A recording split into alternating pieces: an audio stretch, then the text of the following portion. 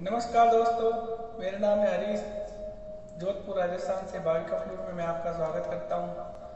आज मैं आपके सामने फ़िल्म सूरज का बहुत ही खूबसूरत सॉन्ग प्ले करने जा रहा हूँ। कुछ गलती हो तो क्षमा करना